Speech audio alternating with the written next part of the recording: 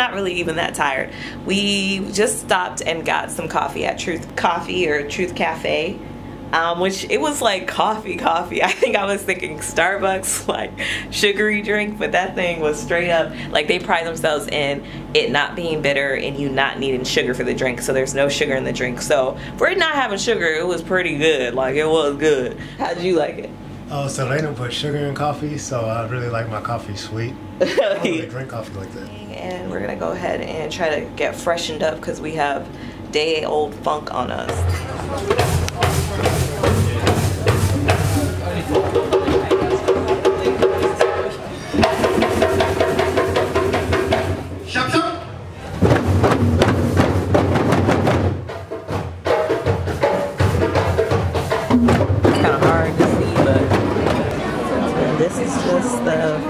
Starters. Um, right now we have a lot of South African dishes.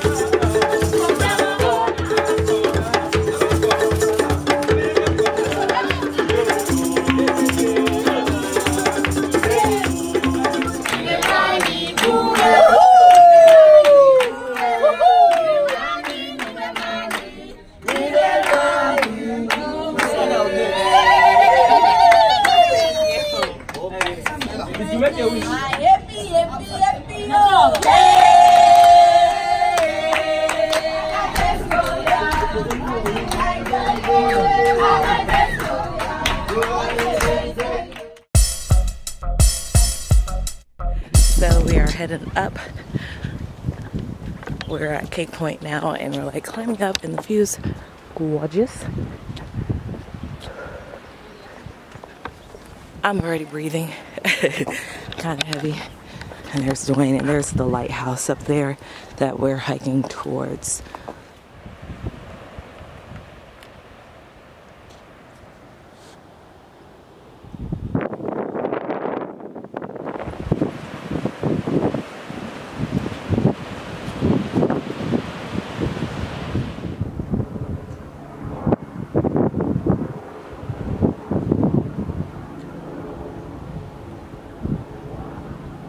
So everything kind of just worked out because we actually had this scheduled for Friday and today's Monday and they were able to reschedule us last minute, like literally minutes before to Monday. Um, so that worked out because Table Mountain was closed. So because of weather, I guess the wind up there was really strong. So we just didn't want to chance it and was like, this is one of the things that will take us out of the city for a full day. So since we know the mountain's closed, let's just go ahead and do this one um, today, and it's been a beautiful day, like gorgeous. And the scene, like the scenic route up, there's so many photo ops, and I probably actually didn't record as much because I just didn't feel like it, I guess. Wanted to kind of take it in and take quick pictures so I kind of like look around, but yeah, for the view alone, I would say it's worth it. So now we're gonna go ahead and eat at Two Oceans.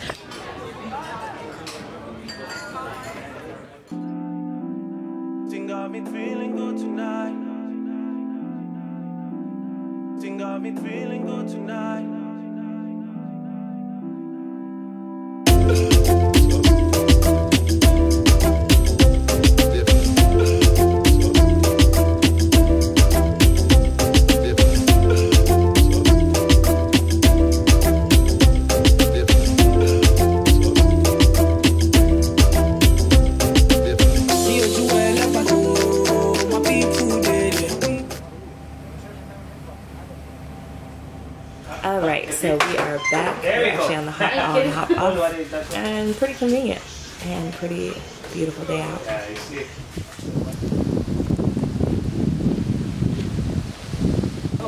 It's like 11 something and we're gonna go ahead and eat and then start our day with this winery but like sitting down the weather's just like perfect I don't know. I feel like I'm gonna retire here. I really think I am. I just have to convince Dwayne. What will it take for me to convince you for us to retire here? A whole lot of money. Carrots and potatoes, and Dwayne got a tasting of a lot of stuff. I don't know. I don't know what it is. yeah. I don't remember. I don't either. I remember there was, yeah, like quite, yeah, I don't know. That looks good, whatever that three part salad tasting thing is. As you enter, on your right hand side is a little glass case with a bottle, a Fourteen percent There's a beautiful old Had one, our first winery tasting. It was fine, five wines, four of which which were 14% and one was 18%. And crazy enough, the 18% was their sweet ruby. Lord, we probably should have bought that bottle. I forgot.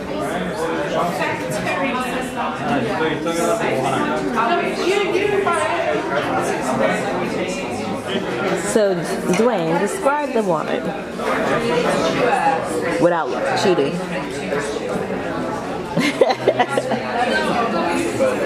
It's red. That's one point. It's not too sweet. Uh, don't even know. I don't even know. I never drank this much wine before. I know this is I'm all. uncomfortable. Huh? I'm uncomfortable. it's so much wine. You remember how to turn It's it? like Jonas's was taking in any local perfume was eight hundred pounds each. And I said, no, no, no, We also didn't explore that part. Oh, the restaurant. Remember the one in um, Is that okay with you? Seventy percent Merlot, thirty percent Cabernet Franc. So it's smooth, with a big body, healthy granny tone to it. Got the French oak coming in because that's between that's a battle. Like, is it necessary to make them so evenly lined? Aesthetically, it's beautiful, but I wonder if, you know?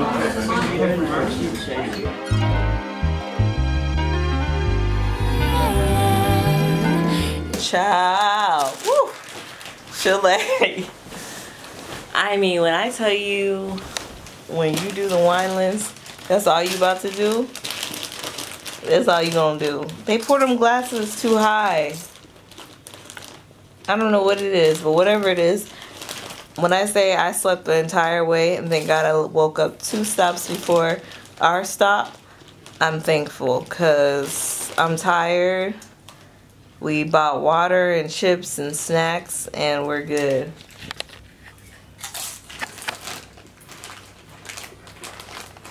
Was that you on the camera? You saw you? Hmm? You saw you on the camera?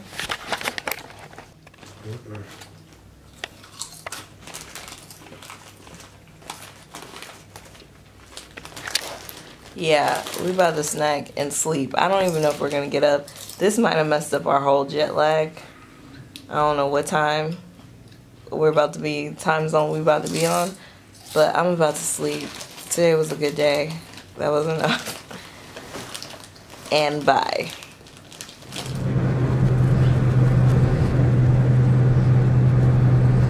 All right, kids, so we made it to the beach and it is a beautiful, beautiful day out. We're just gonna figure out what spot we kind of wanna be at and probably get an umbrella and pop out over there and just hang out. All right, so we got it set up. We have our chairs and our umbrella and it cost us 190 rand. Granted, we didn't like haggle or anything, so I don't know if that's really what it is, but it's about $15, a little less than $15 US, um, which I feel is worth it for that view, being comfortable, and having the mountain. Yeah, so we're about to relax out here, probably do a little reading, and just enjoy the weather.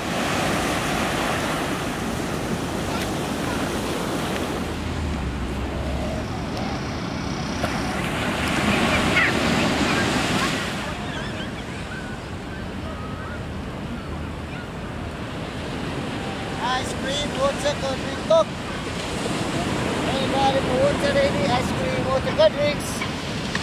Ice cream, gonna be alone. All right, so funny. Um, we came out here to hike Lion's Head, but believe it or not, Lion's Head is closed. So we're gonna do Signal Hill.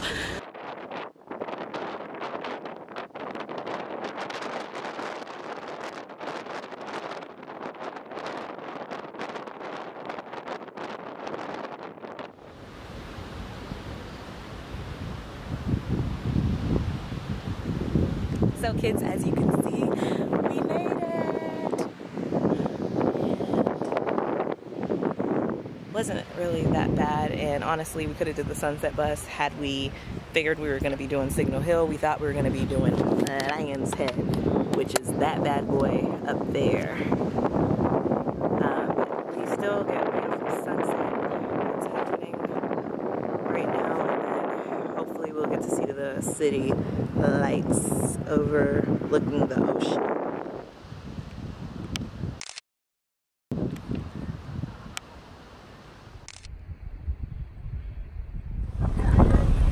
Alright, so we just finished Signal Hill. Um, we did the hike all the way there and the bus and the sunset. And yeah, good stuff and good times.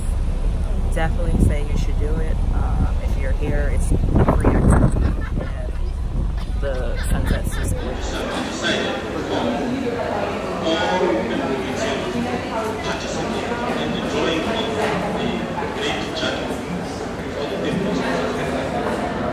Okay, so we just actually boarded the boat to Robben Island. So basically the shuttle takes you there and then you do a tour while at the prison. And just looking forward to learning a lot. Um, I know like basically the bare minimum basics about it, but even while standing in the museum I learned some things. So it should be pretty interesting. Um, this was basically one of the top things that we wanted to do when we found out we were coming to Cape Town.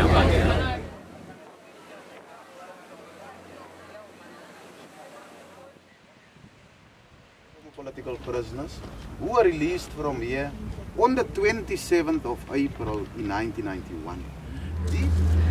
Okay, so we just finished the tour, and the tour is actually led by a former political prisoner.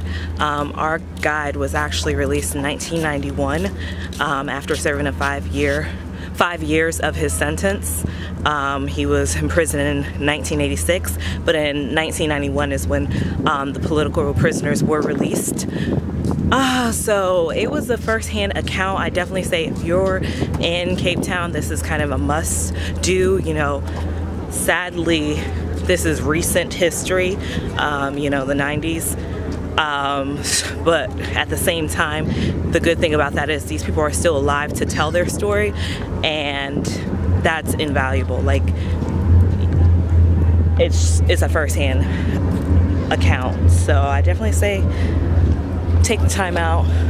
You'll learn a lot. We learned a lot, and you'll I don't know experience a lot. Anything else you want to say? No, it's just definitely a must do, and I'm glad we came. Yeah, same.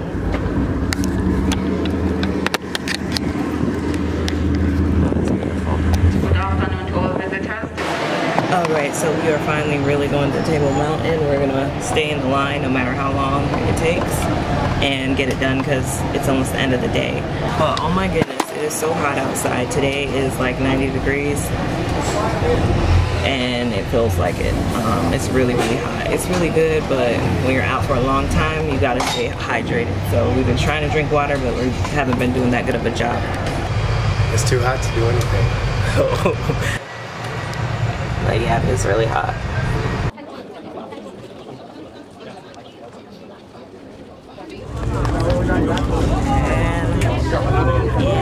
Ladies and gentlemen, please be advised that Table Mountain being the national park, part of the World Heritage Site, we ask you to respect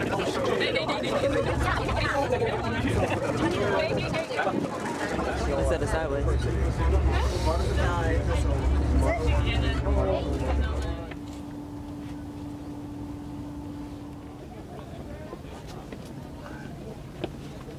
All right, so we're just getting higher and higher, higher and higher.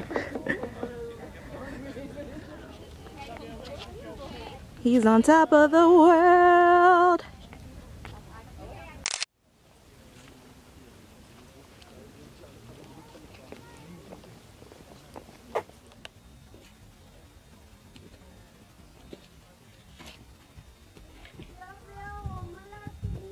So here we are. We are atop on Table Mountain, and out of all the views, I'm not gonna lie, this is the best. Like, it's kind of insane. And it also feels super safe. Like, a lot of the stuff is like so massive and so big, the rocks are.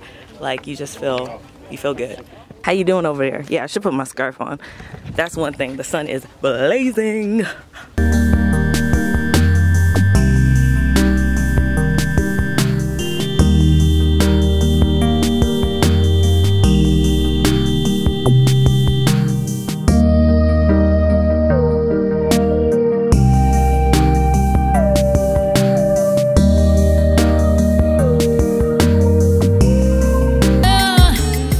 To go ahead and have a high tea experience, which I'm super excited about.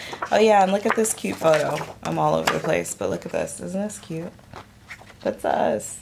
This is the little souvenir that I picked up for Robben Island. I thought it was cute. Anyways, I'll catch y'all on the flip side. All right, that's enough. The plane. That's enough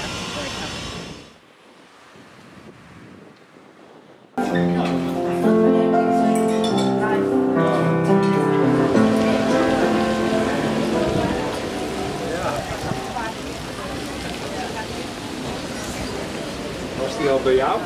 paradise, flying cabbage, it's a salmon and cheese, uh, we have salmon, zucca- smoked salmon, cream cheese, egg salad, cucumber, That's what it should.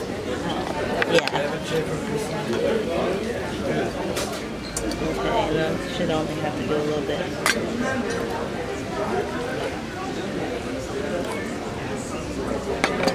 Tomato and langoustine. Yeah, go for it because I don't know where to start. Pretty cute. You look so cute. You look like you have both got potatoes and kudu, which kudu is like bison. Is it bison? Dwayne? Is that- It's like a antelope. Oh, it's like antelope. I'm sorry. Antelope. It's like that's what I said. Antelope. Oh, the kudu is huge. So, okay, so we just got back from Black Sheep, and the food was. I like the way you work. No diggity. but yeah, so we just got back from there, and the food was so good, like so so good.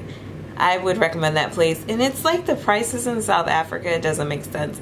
Like we got between us a total of three drinks, a starter, two entrees, two desserts, and this is like really good quality food. I would say, I don't know, like 60-ish, 60 $70. After tip, it was like $70 US, if that. And that's unheard of. Anyways, we were talking and we think South Africa might have the best food that we we personally have tried of the countries that we tried. Like we played a game tonight where we like ranked the countries as far as like the cuisine, the uniqueness, the overall trip experience. And for me, Cape Town by far was the best in experience, the best in all, all around food. Um, the uniqueness was Morocco for me. And then Dwayne, yours was for food you agreed for Cape Town. You also like Thailand a lot though, right? But Cape Town had to be. Yeah, so as far as Cape Town, this is by far for me the best vacation experience that I've had. Additionally, I feel like if you haven't not saying if you haven't been a lot of places, come here. What I mean by that is if you don't want to have to hop to different countries and hop to different places to experience a lot of different things, Cape Town is a city where somehow you're able to do everything in one area. Like I've never experienced a place where you could go to the beach, you can hike, you could freaking see penguins, wildlife, you could go to vineyards. You really have Historical stuff. Yeah, you could do historical stuff. Like, by that alone, I've never experienced anything like it. But I'm really happy with my stay here. The people are beautiful, the food is beautiful, the culture, the history is very similar to American history, but kind of warped in its own. But I do like the fact that they acknowledge their history, even on everything that we've done, whether it been to the vineyards, to see the penguins, anything that we've done, they haven't shied away where you cannot talk about the history. That maybe because it's so recent, but at the same time, I feel like in America, a lot of times, like if you talk about anything, if you talk about Jim Crow, if you talk about segregation, all this other stuff, slavery, people are like, oh, you get over it. Stop. Like they want to put it under the rug like it never happened. Whereas I feel like, at least on the surface, South Africa is trying to in some ways facilitate that reconciliation. Is it genuine? I don't know. I've only been here a week. But that is a small sense of I'm glad that nothing shies away from it. Anything to add to that, Dwayne? I just rambled. No, that, that was a good recap. Okay. All right. So I'm going to go ahead and end the vlog here. Cape Town, you have been amazing. This might be the weirdest way to end a vlog, but pretty much tomorrow is really traveling day. So love and light and see you guys in the next one. Bye.